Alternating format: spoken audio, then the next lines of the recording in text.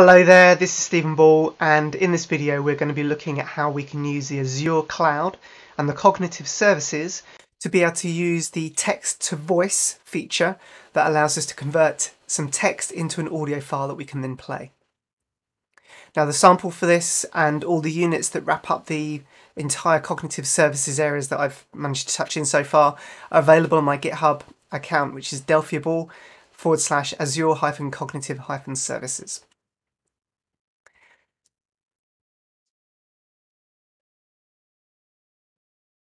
So if we jump in here, this is the Azure portal. The first thing you need to do is make sure that you have the speech services added. Uh, if they don't show in the list here, you can just create a resource and, and add it on. And once you've got the resource added, uh, you just need to go into the resource and under the keys and endpoints, there's two things you need. First of all, you need to make note of the region.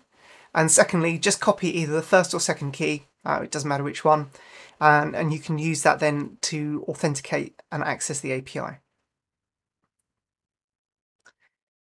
So the classes that we're going to be using are all found in the Azure API 3 speech units that are part of the GitHub repository. And so if we're going to have a look at the text to speech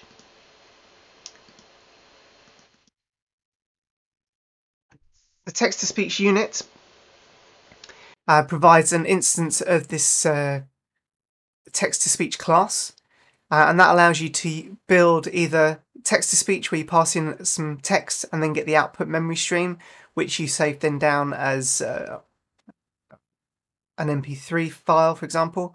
Um, or you can do a raw text-to-speech. Now the difference here is the raw text-to-speech provides in uh, output from this Azure text builder.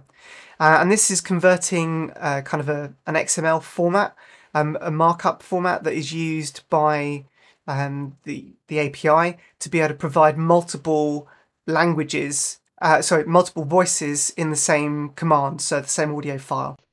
So in here, if you want to do that, you can create an instance of this Azure text builder and then just add the lines of text with the specific voice that you want to use. And then you can run that through. Uh, in terms of getting the, the voices, there's a, a unit here to get the speech voices. And here you can create an instance of this um, against the region that you, you're selected for uh, and they're just called the function for voices and that will return back an array of the different voices if they're male female if they're neural or if they're just standard voices. Um, so you can got some quite you know rich information to choose from there. Um, and there's also kind of styles and role play lists and bits like that that are available to, to pick up on. Uh, and inc including that is kind of a locale. So if you wanted to have a, a German voice or an English voice or a Spanish voice you can pick out from the voices returned the specific ones you want uh, and then, uh, yeah, you can go ahead and, and, use those, pass them in. So that kind of gives you a, a, quick overview of all you need to be able to use. Uh, let's have a quick look at it in action. So this is the, uh, the sample application. I've copied my API key in here and selected my region from the, the drop-down list of different regions. Uh, one tip when you're using the sample, just save the configuration once you put it in and then next time you run it, it'll automatically load that back in, saving you having to go and copy it every time. So text to speech, uh, in here I'm going to choose the region, um, which uh, is already set for, for North Europe. Uh, and here I'm going to say, right, let's pick out, um, these are all the voices that come back from my region access, um, from that, you know, asking that regional uh, server for the voices that I can use. So I'm going to say here, let's have some uh, Susan uh, and maybe uh, Ryan to ask the second bit. Uh, and if I hit say joke now. Why did the turkey cross the road? I don't know. Why did the turkey cross the road?